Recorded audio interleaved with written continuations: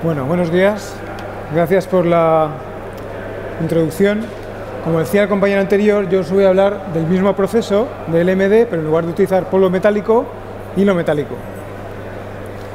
En este caso, eh, el hilo suele venir en... Eh, esta es una boquilla típica, aquí a la, a la derecha podéis ver una boquilla típica de aporte de hilo metálico. El hilo viene en vertical, de forma coaxial, y el haz del láser, en la el propio cabezal se suele dividir en tres haces o en dos haces, que vienen por unos conductos eh, a través de, la propia boquilla. Bueno, el tema está que los haces láser vienen con un ángulo determinado y coinciden en el mismo sitio donde incide el, hilo sobre el, material. De forma que funde el hilo y generamos un pequeño cordón de soldadura. Mi unidad mínima es este pequeño cordón, que tiene un tamaño generalmente de entre 1 y 3 milímetros de anchura. De esta forma, si queremos cubrir un área extensa, simplemente tenemos que solapar cordones de soldadura, como podéis ver en el vídeo, o si queremos crecer en altura, simplemente tenemos que superponer un cordón encima de otro para generar una estructura en tres dimensiones. Eh, no deja de ser un método de soldadura, pero una de sus principales ventajas es que el anclaje del del cordón de soldadura es, eh, es muy bueno, la adherencia es muy buena. Y aunque es un proceso de soldadura, la dilución es muy reducida. Dilución entendida como la cantidad de material que entra en el sustrato pues es muy reducida. Si lo hacemos bien, suele ser de en torno a menos del 5%.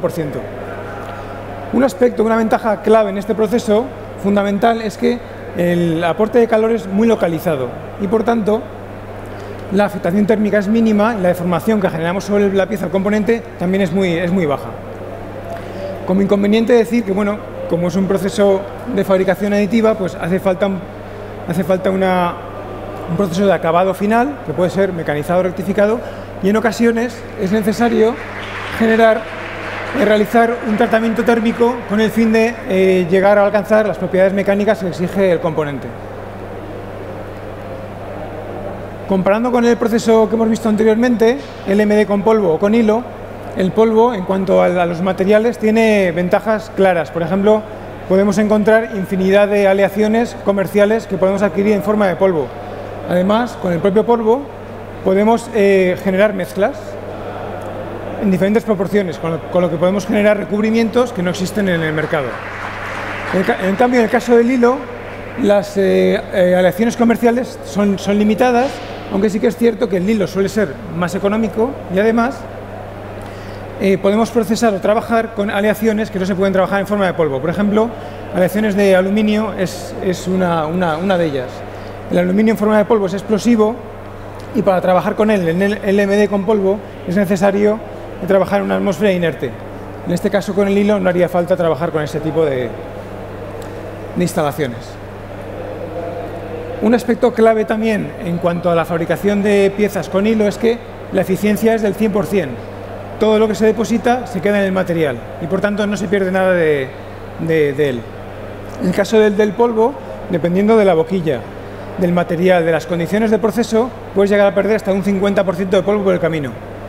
Y desde mi punto de vista, cuando la aplicación es exigente, es difícil de, reciclar. Entonces, eh, se puede perder mucho dinero trabajando con esta tecnología. También, antes el compañero ha comentado que se pueden llegar a tasas de deposición de hasta 18 kilogramos por hora. Me parece muy, muy, muy, muy alto, pero desde, por ejemplo, no, quita, porque sí, sí que es, verdad que es una tecnología de deposición directa de energía que se pueden llegar a altas tasas de, productividad. En técnica, en el caso del polvo, hemos llegado a 5 kilogramos a la hora, que nos parece que está muy bien, y en el caso del hilo nos hemos quedado en 1 o 2 kilogramos a la hora, aunque sí que es cierto que el aumento de la productividad no nos parece un problema, dado que dependerá sobre todo de la potencia del láser y del diámetro de los, del hilo que estamos utilizando. A día de hoy estamos trabajando con hilos de en torno a un milímetro de diámetro, pero sabemos o podemos trabajar a futuro con hilos de más de 2 milímetros, con lo que pensamos aumentar la productividad, pues como pongo en esta tabla, pues hasta 5 kilogramos a la hora. Otro aspecto clave es que bueno, esta, esta tecnología está orientada a la fabricación de piezas de grandes dimensiones y la única limitación es el propio, eh, el propio sistema de, fabricación. Podemos trabajar con una celda robotizada donde la limitación en cuanto al tamaño de pieza vendría dado por eh, las dimensiones del brazo articulado. O se puede trabajar en una máquina. Nosotros en Techniker apostamos por el diseño y fabricación de una máquina, que es esta misma que veis aquí. Básicamente, bueno, en este caso podemos trabajar con eh, piezas de hasta 2 metros de, longitud, casi 2 metros de longitud, pero nos decantamos, también tenemos una celda robotizada para trabajar con hilo, pero nos, decantamos por esta máquina porque veíamos un par de ventajas importantes. La primera de ellas es que no teníamos ningún problema, teníamos mayor precisión a la hora de generar trayectorias para generar estructuras de grandes dimensiones y por otro lado podíamos trabajar con aleaciones difícilmente que se pueden trabajar difícilmente con, polvo. Por ejemplo, aquellas aleaciones que se oxidan fácilmente, como las aleaciones de, de titanio. Y por eso integramos en la propia máquina la posibilidad de trabajar en aire, en condiciones normales, o con atmósfera inerte, de argono, helio o incluso en vacío. Podemos llegar a menos de 5 partes por millón de, de oxígeno, lo que está, está bastante bien. Como decía el compañero de Tecnalia, eh, básicamente se podemos encontrar tres aplicaciones para esta tecnología. La primera de ellas sería refuerzo, podemos generar eh, recubrimientos de anticorrosión o anti, antidesgaste o incluso barreras térmicas sobre diferentes tipos de, componentes. Podemos preparar todo tipo de piezas, piezas metálicas, por supuesto. Por ejemplo, piezas que hayan sufrido un desgaste, piezas que hayan tenido un, eh, un error durante el mecanizado o piezas que, hayan requerido de un cambio rápido de, diseño. Y por supuesto podemos fabricar estructuras en tres eh, dimensiones, generalmente siempre pensando en series, series cortas. En el siguiente vídeo tenéis un ejemplo de una pieza que hemos fabricado en Techniker eh, de un acero inoxidable austenítico. En este caso utilizamos un hilo de 0,8 milímetros de diámetro y vamos a una tasa de aporte de un kilogramo a la hora. Aquí podéis ver que va a velocidad normal y lo que vamos a ver es que ahora va a empezar a acelerar y vamos capa a capa generando, vamos, cordón de soldadura, cordón de soldadura, generando cada capa.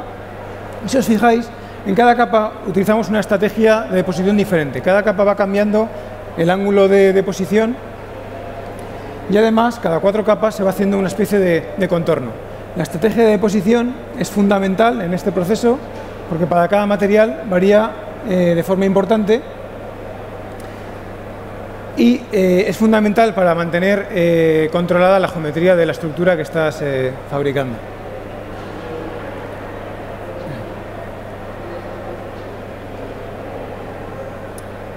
Bueno, finalmente decir que una incertidumbre de este tipo de tecnologías suele ser siempre las propiedades mecánicas que se pueden alcanzar a la hora de fabricar un componente.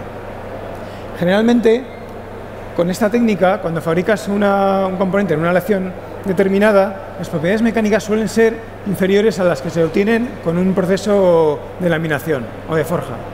Aunque sí que es cierto que para determinadas aleaciones, por ejemplo en el caso del titanio o inconeles, se puede eh, igualar o incluso mejorar esas propiedades mecánicas haciendo un tratamiento térmico posterior y hay infinidad de, artículos y trabajos que lo demuestran, como este que podéis ver aquí, en el cual ya tiene unos, unos cuantos años, del 2009, donde se demostraba que eh, utilizando la técnica de deposición de hilo con láser, incluso la de WAM, que veremos a continuación, se pueden llegar a propiedades mecánicas del orden de la, similares a la, a la, a la fundición y a la laminación. Y nada, eso es todo. Es que recasco. Muchas gracias.